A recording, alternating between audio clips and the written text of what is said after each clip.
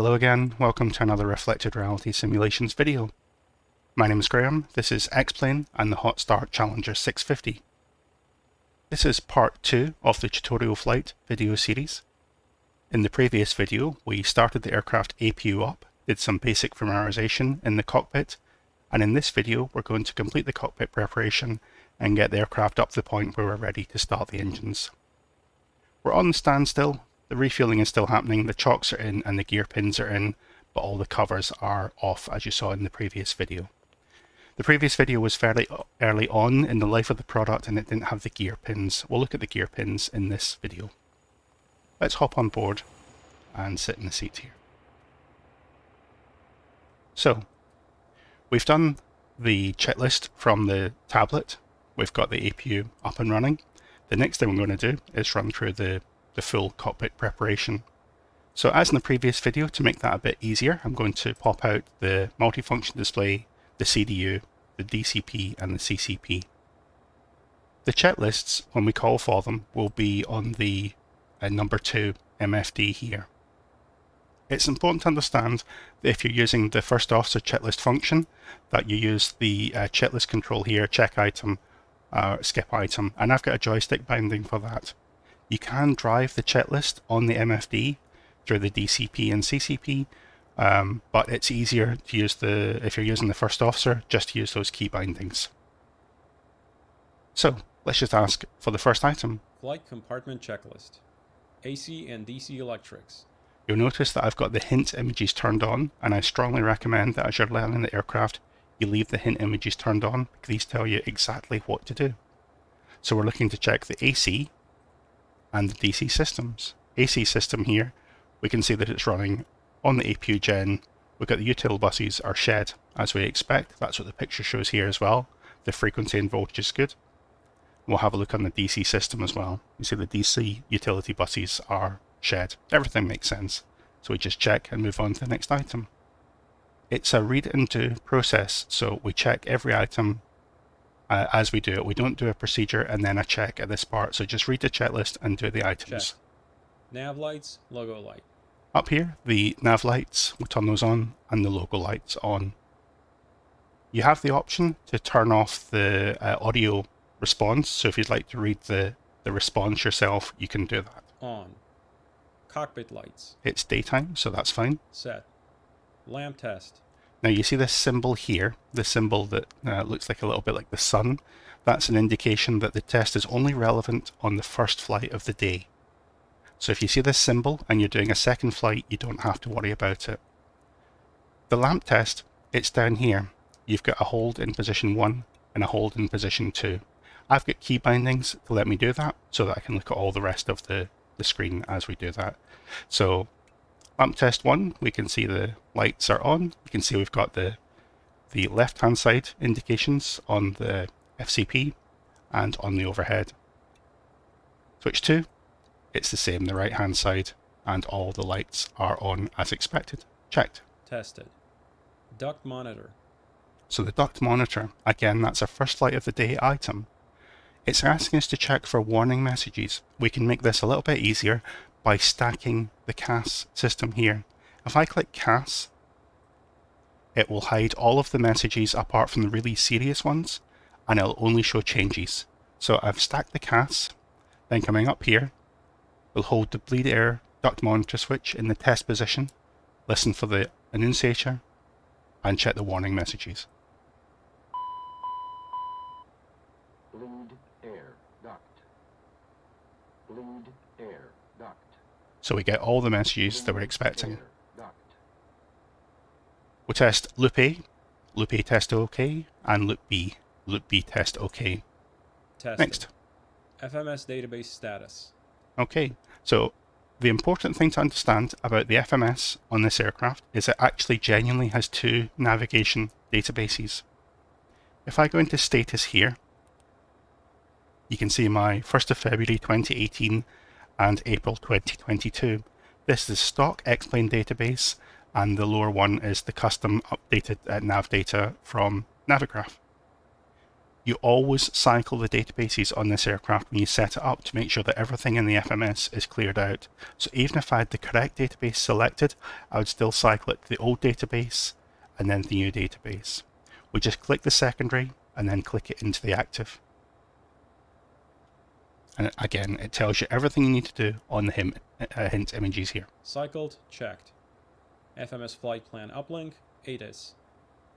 So my flight plan is going to come from SimBrief today. I'm going to go to Index, Route Menu, Flight Plan Recall, and in my case, I'm going to go from CYUL, and we're going to go to EGPF.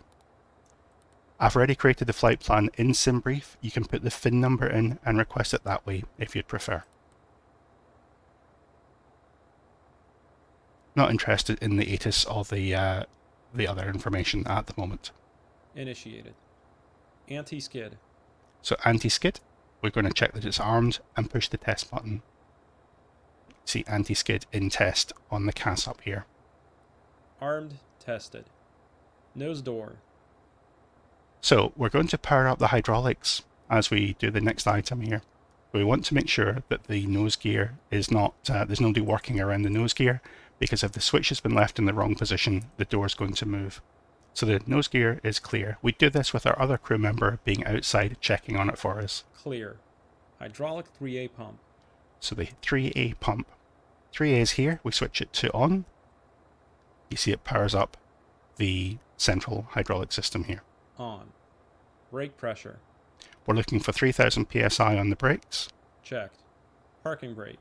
So I'm going to set the parking brake. And to do this, I have to hold the toe brakes, and then I can use the parking brake.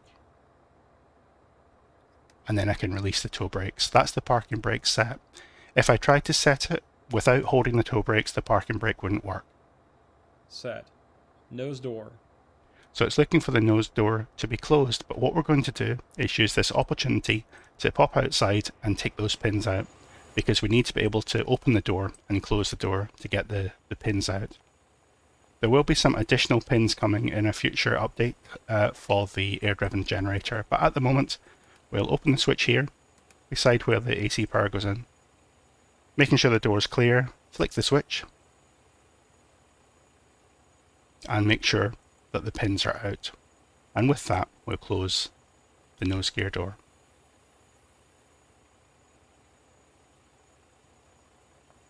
Let's close it. And while I'm doing that, because I'm thinking about the same thing, as we'll come around here, I'll take the other pins out the gear as well. You notice that I can do a touch test on the wing as well to see if there's any ice on the wing. That's a, a an addition after the release of the product just to make sure that you're not taking off with, with ice because obviously in real life you'd be able to feel for ice and you can do exactly the same on the hot start aircraft. Right, so I've got the pins out. Still got the chocks in, but that's okay. Back into the seat. So the item we were dealing with was nose door and that's closed. So we've used that as a trigger to take the pins out as well. Closed. Hydraulic panel and pumps. So what we're going to do is switch all of the pumps on and make sure the respective hydraulic systems power up. So what I'm going to do is take the 3A pump and switch it off and then put 3B on and make sure the 3B pump also runs the number 3 hydraulic system and then we'll switch 1 and 2 B pumps on and make sure all the systems are powered. They all come up to pressure so I'll go back to auto, auto, auto, and then on. So now the three number three hydraulic system remains powered. The other systems, the pressure will bleed off as we go. And we've got the messages back again because the pressure dropped off. Checked. Auto 3A on. Electric panel. It's getting a bit more logical now. We'll work through it in a kind of top to bottom, left to right manner. So AC Gen 1 and Gen 2 are off. Checked. AC DC utility switch. We'll switch that out to come on. And if you'll notice, we've now got the utility bus 1 and 2 and utility bus 1 and 2 AC and DC. On. Start ignition panel. That's up here, just check all the switches are out. Checked. Fuel panel. So this is an interesting one. This is the double smiley check. It's an interesting fuel system on the Challenger. We're going to flick the switches on and then go round again. I switch this pump on and you'll see both pumps come on. That's as expected.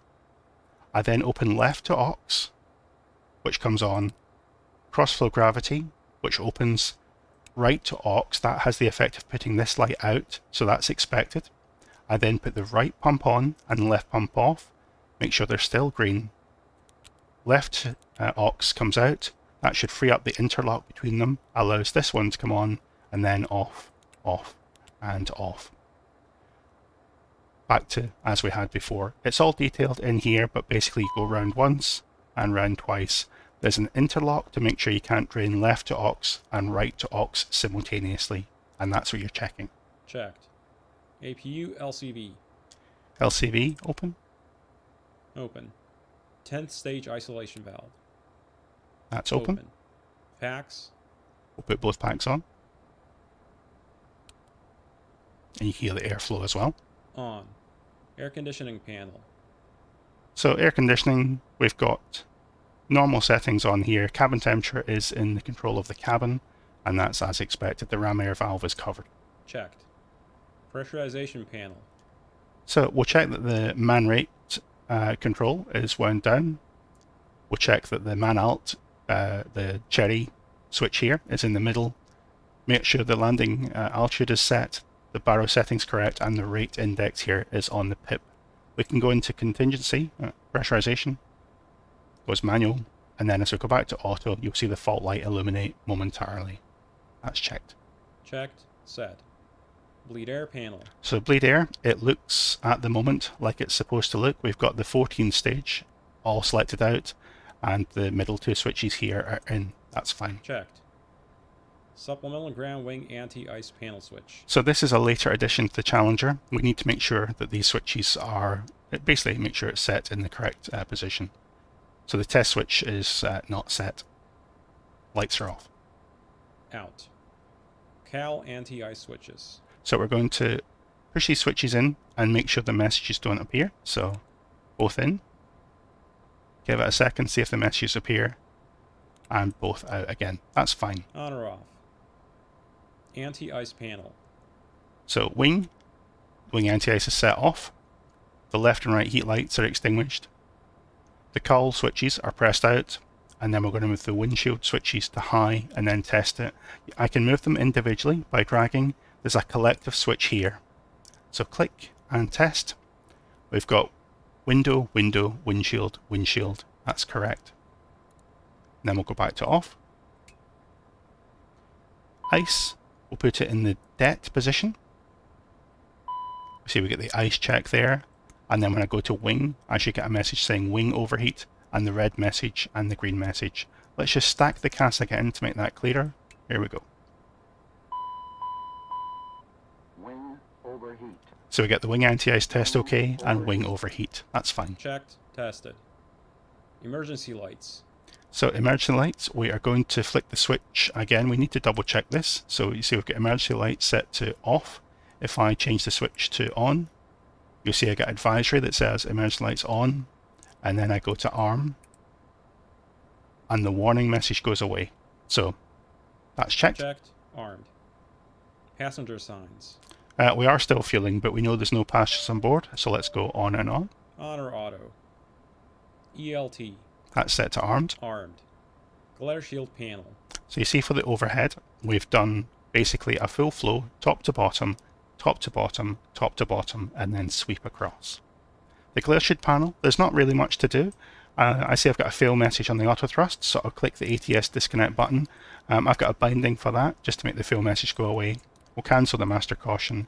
And the only thing they really do on this is the autopilot disconnect bar here. This is like a, uh, the last resort disconnect if you like. We'll just exercise that to make sure it moves and it's not stuck because it never gets used on the real aircraft.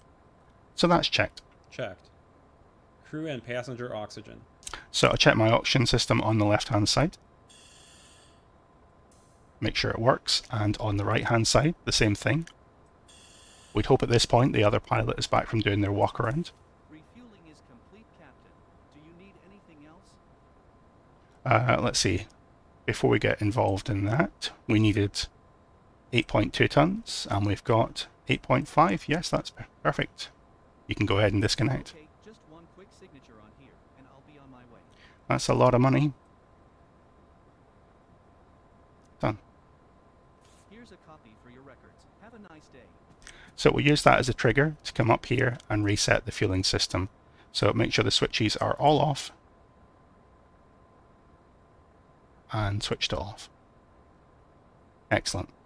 Right, back in the seat. So we're doing the oxygen check. We've done the, the masks. I want to make sure the passenger oxygen is set to normal and therapeutic oxygen is set to normal. That's fine. Checked. On. DCU warning panel. They're set correctly. Checked. CVR. Push and hold. Five seconds. Make sure the light comes on. Done. Tested. Audio panels. So on my aircraft, I have the audio panels uh, set to, to mirror. So if I momentarily select the number two system off, you can see it happens over here as well. And if I put it on there, it happens here. It doesn't have to be like that. You can have it set uh, independently. And when the aircraft is fully compatible with shared flight, you can you'll hear different settings on this side than you will hear on this side. So it's it's set up for multi-pilot operation from the outset. What we're interested in though is that the auto panel is set correctly. Most importantly, if you intend to use the refueling system or speak to the ground crew on the headset, make sure you've got the uh, intercom service set here. Um, if you're using de-icing, you'll need to have the transmit selector here set to VHF1 or VHF2 as required. That's fine, that's checked. Set. SPS system. So the stall protection system is an interesting one. Let's bring these displays back up and I'll put the flight controls on. The Challenger doesn't have um, controls that have any uh, feel to them from the aerodynamic surfaces. All the feel on the controls are provided by springs. It is basically a big version of the Airbus side stick here. What we need to do before you run the stall protection test is put the stab trim channel 1 on and then I'm going to motor the trim forwards. So I'm going to move the trim all the way nose down. See I can hold it here or I can do it on my joystick binding. So put the trim all the way forward and then click the button to disconnect the trim again. So now what I'm going to do is do the stall protection test itself. This is a bit harder to do when you've got uh, just a screen to do it on, so we're doing a bridged version of it. I'm going to click the hotspot here between the SPS switches left and right, and I'm going to make sure that I get the ignition, the stall fail message. Let's clear the CAS again. Ignition, stall fail, and we'll check that the stall uh, shaker and the stick pusher operate. Here we go. Stall fail, ignition, stick pusher. We can see the elevator deviation on the flight control page. I've also got another binding here for the G switch that uh, basically releases some of the pressure. I'm going to click the autopilot disconnect button and make sure that gives me full control to override the pusher and on the other side click the button here and make sure I can override the pusher. That's the check complete. Right, next item. Checked. On. Integrated standby instrument. That's here. We've got it set to uh, inches of mercury, which is fine. Checked. Set. Clock. That's UTC. That's perfect. Everybody flies with it on UTC. Um, it, it has a local mode, but it's not smart. It doesn't know the, the actual local time zone. It's just a fixed offset. So nobody ever bothers moving it from UTC. Reset. EFIS. EICAS. And again, that's thinking more about the configuration setting you've got on the on the aircraft here. So are you in the correct altimeter units that you're interested in for this flight? Is everything else looking reasonable on the, the screen? Have you got the right frequencies or the, the next frequencies set up here? We're not going to do anything with the flight plan at the moment. This is just making sure that the EFIS options are set correctly for how you prefer to operate the aircraft. Checked. Main landing gear bay overheat. And you can see that we're still following that pattern. So we've done the side panels, the uh, SPS, and then we've done the screens in the middle. Right, main landing gear overheat. So we're down into the center here. You might be wondering why I've got a separate switch Fuel bay overheat. for overheat and fail when the other switches have got two positions. I don't know the answer. That's a Bombardier thing. Checked. TAWS warning switches. TAWS warning switches are here. Make sure that they are uh, all covered and on and put it to test and make sure that we get the indications on the display. Glide slope. Pull up. Excellent. We'll let it continue working on that. We'll go to the next item. Out. Tested. Pitch and roll disconnects. Pitch and roll disconnects, these are these items here. Um, I encourage you to play with those during your flight and see what happens. Remember, you can change seats to operate the different controls on different sides. But at the moment, we're just checking these pins are in. If you pull the pins out, it disconnects the two separate sides of the aircraft. In. Stowed. Ground spoilers. So ground spoilers, what's it asking for here? It just wants to check the ground spoilers are set to auto, which they are. Auto. Thrust reversers. We're going to check the emergency stow switches are out and then switch the reversers to armed. You have to arm the thrust reversers on the Challenger and you tend to disarm them in flight. Checked. Armed. Thrust levers. So what I'm going to do is move the thrust levers out of shut-off into idle to verify I've got control over the levers. So click the red paddle, push it forward to idle, and then using my hardware throttle, make sure I've got a full range of motion, and then back to idle. Same with the other side. This is a mechanical connection. There's a cable between this and the engine fuel control units. So move it slowly and deliberately and make sure you've got full motion of the thing. Checked. Shut off. Engine speed switches. Engine speed switches We're into the center of the panel now. Make sure there's a switch on and on. On. Engine vibration check. So the vibration test is here. We're going to look for a vibe going up to 3.5. Here we go. See the vibration indicator comes on. Vibration, vibration, and 3.5. Checked. Tested. Aural warning. So the Challenger has an interesting aural warning system. We've got two separate banks giving the same thing. These are the DCUs over here. You've got the left side and the right side are the 1 and 2. So we'll check uh, system number 1. And we could let it go through all the noises it makes if you really want to. And we can run system 2. You can actually run them both together. So 1, 2. And then switch them both off again. Checked. Checked. Smoke detector. So that's down here. Click and test. Smoke. Smoke toilet, smoke baggage bay, and the smoke warning. Smoke. Tested.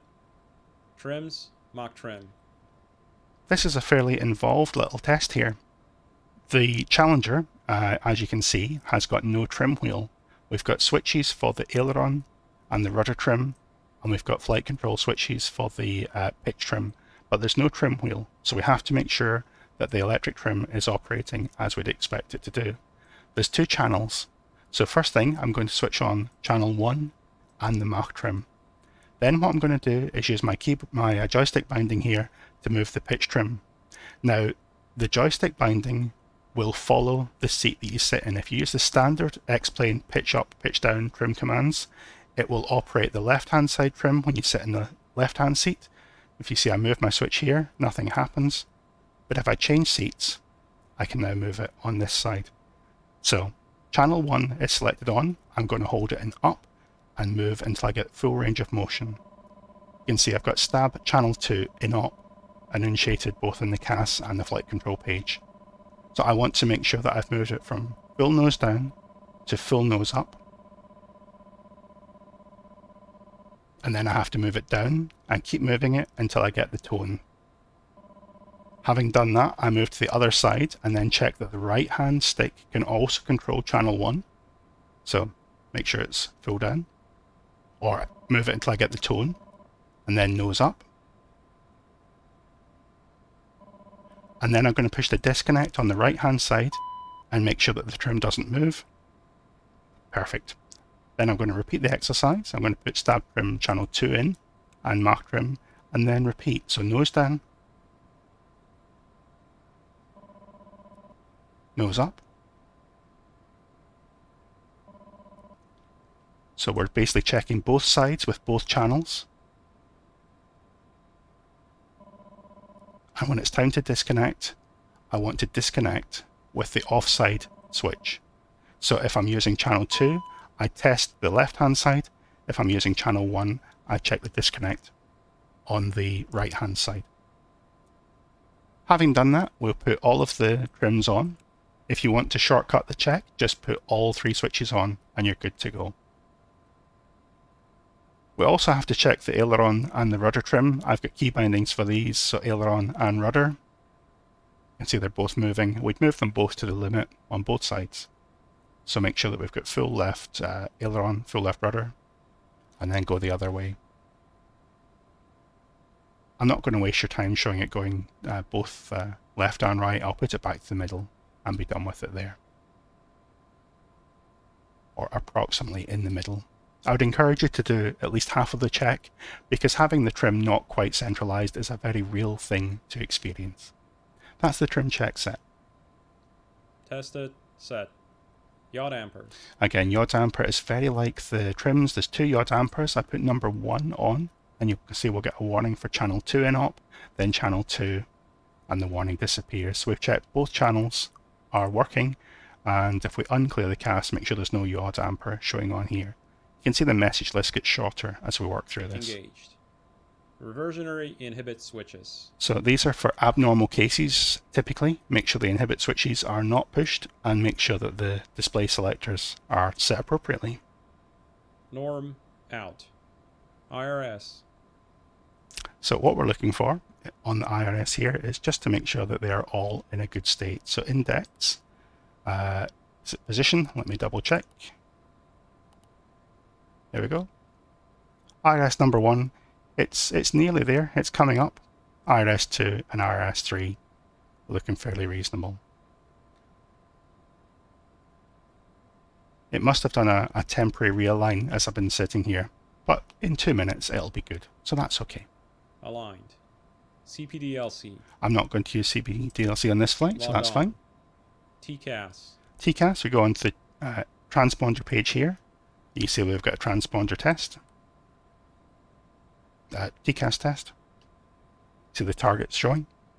The green bar. TCAS system test okay.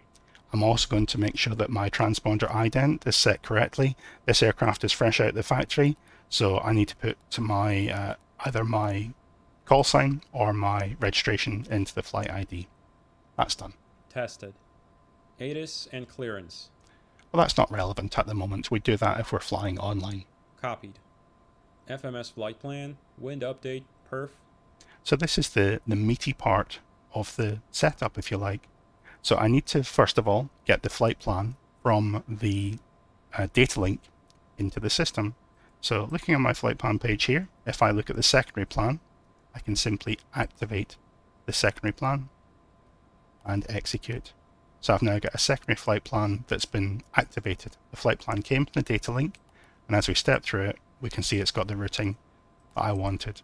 We'll have a look at how we review that in a second. I want to set it up for the departure as well. So the departure, we're going to have the departure off runway uh, 24 left, and it's going to be the departure number one here, and execute. I go to legs, that should just basically be runway heading, and then vectors, and then a discontinuity, and then RABIK. Perfect. Hello, Captain. It's Jenny from Hot Start Flight Support. Your passengers have arrived. Shall I have them brought to the plane? Let's tell Jenny we're still working on it. Understood. Just call me when you're ready to receive them. Excellent, thank you. Else? Nope, that's all good, thank you. Always a pleasure. Take care. Excellent. So we're nearly there. Flight plan. Uh, we need to load the arrival as well. So it'll be the arrival into uh, Glasgow on ILS runway 23, and I think it's the, the black arrival, I said. So we'll execute that. If I want to review the flight plan, what I can do is take the second, uh, the lower MFD here. If I change the lower format into uh, plan, I can then go to MFD Advance on here, and that lets me step through the waypoints. So let's see what we've got. I need to open the range up a little bit here. So this is the very end. There we go. So skipping through, we've got runway heading out, and then we've got RABIK. Hopefully it takes us uh, roughly the right direction, out onto the oceanic transitions, Limray, Blackhead, Gerva. Excellent. That all looks reasonable. So let's take it back into the correct format. We'll put it from plan mode into PPOS. So it was FMS flight plan, wind update, and perf. So we can get the winds as well. It's index, RIC menu, flight plan wind update, send, and that will send off for data link winds. And on the perf, it's not looking for the takeoff performance at this point. It's looking for the uh, information for the VNAV setup and that sort of thing. So we'll tell it the temperature. I'll go to the perf init. I'll tell it that we're going to cruise, uh, what do we think? Initially flight level, let's say if we can make 370, flight level 370 initially. And I'm expecting four passengers of around 85 kilograms. There's no fuel loaded on there. The fuel's had a chance to stabilize. So let's click the clear button here and we'll get the sensed fuel. That's correct. And we'll execute that. We'll also look at VNAV and make sure the speeds are appropriate. So 250 knots. 250 knots seems a touch on the slow side for the climb, so let's change that to something a bit uh, a bit faster. Let's say I want to do a 275 knot climb or 0.77. That's better. Next, cruising, 300.8, that's perfect.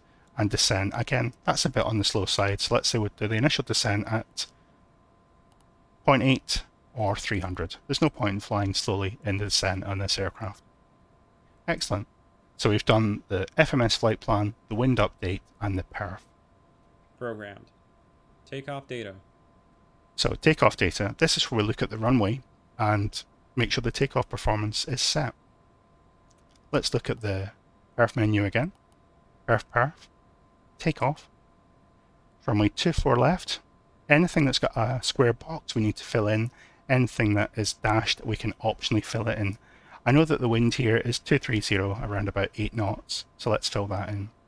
If I want it to be in feet, I can put an F in here, or M for meters we've got the wind component here and the slope and whether or not we want to use APR. That's fine. So next page.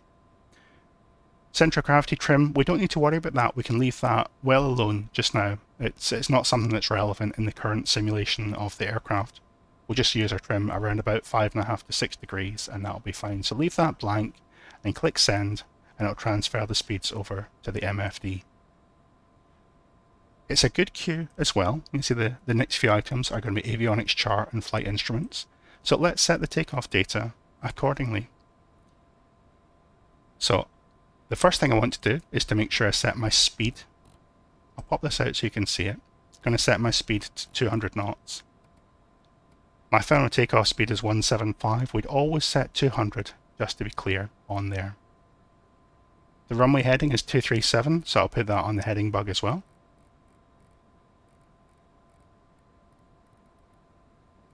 237. And altitude, well, we need to get that from the, the charts, which is the next item. Set. Avionics and charts. So let's have a look at the chart function. I'll use the right hand side and the DCP down here. So if I select uh, chart initially, I've got a Navigraph subscription, so it'll load them from Navigraph. You can see that we've got the the chart loaded just now. Runway 24 left is where I'm going to depart from. But um, we also need to choose the, the chart that we're looking at. I can never remember which button it is for this. Lower menu, there we go. There's the Montreal departure, so the outer dial scrolls through them and just push to select.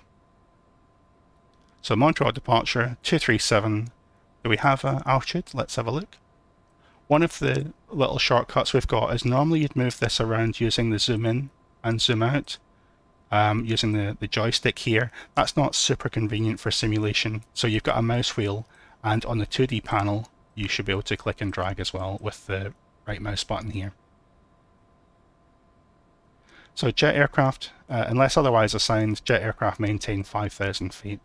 And the initial climb off runway 24, it's climb heading 237 and as assigned. So the charts are set.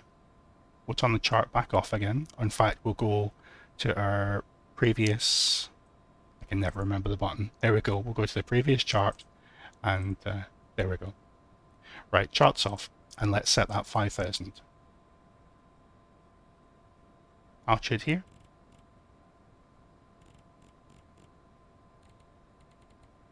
Excellent. So it's asking for avionics and charts. We've got the charts selected, now the avionics. So I want my uh, PFD to be in ROSE mode. That's my preferred way of flying it. It doesn't matter what you do, as long as you do it consistently. PFD is in ROSE mode. My uh, MFD, we're going to make sure that is in PPOS. Right hand side, I quite like the right hand side being in plan mode. So let's have the lower format in plan and uh, we need the right hand side DCP here as well. We're going to set this one to ROSE mode as well. Perfect. That's done. Uh, we've got a modification that I should have executed as well. It's reminding me of there. That's done.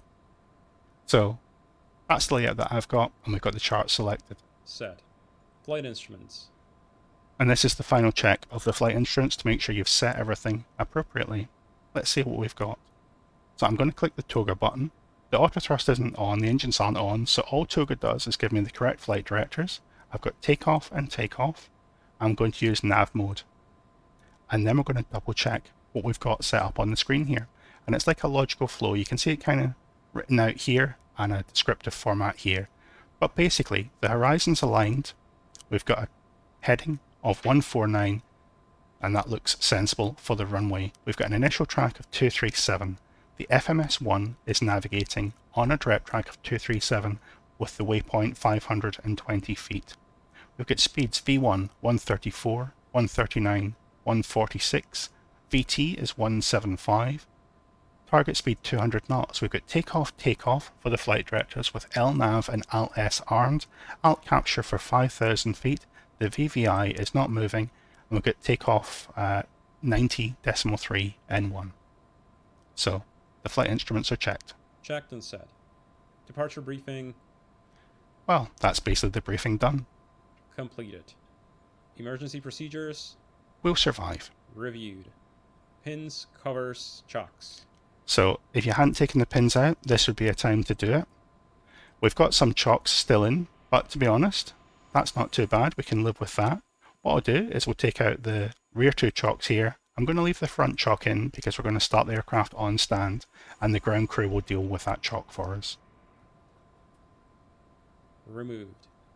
Cabin lights, water heaters, master seat. That's all fine. Set. Flight compartment checklist complete.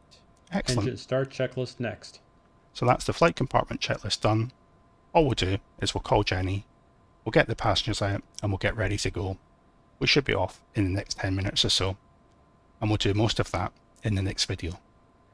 As always, if you do have any comments or questions, please feel free to leave them in the comment section. Not the most interesting of video because we're looking at the systems uh, uh, test on the aircraft, but just remember, if you really want to do this quickly, make sure that the uh, APU bleed LCV isolation valve switched on.